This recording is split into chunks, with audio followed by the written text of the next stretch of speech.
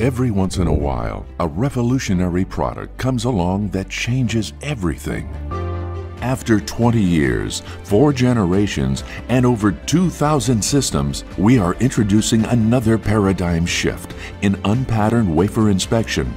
The SP7, a revolutionary architectural change since SP1. How you doing everyone? I'm Sean O'Kane with Cadence Design Systems and welcome to another edition of Did You Know? Well, has anyone ever asked you, what does Cadence do? Well, did you know that Cadence helps build the next generation of innovative products that people use every day?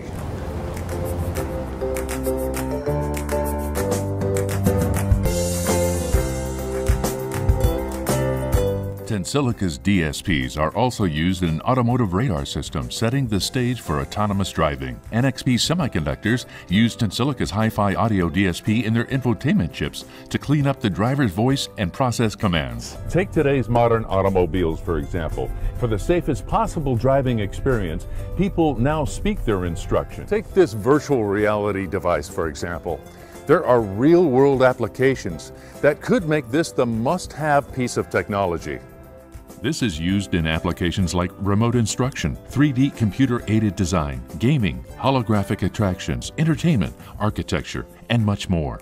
There are more and more of these devices hitting the market, so the images will continue to be more lifelike and the virtual experience will seem more like reality.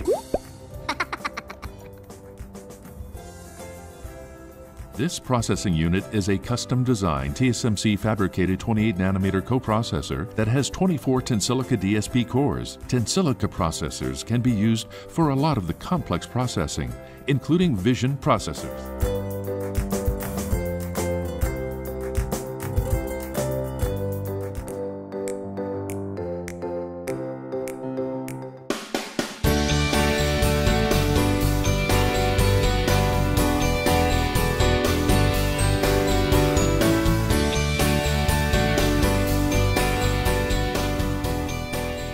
Hi, I'm Jason.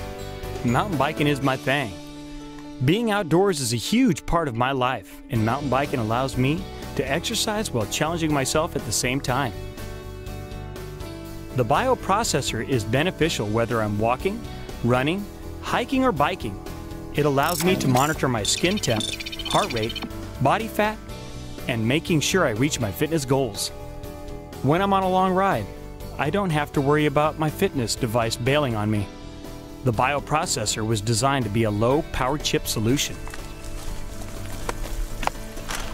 And I can analyze every aspect of my fitness data, even in the middle of nowhere.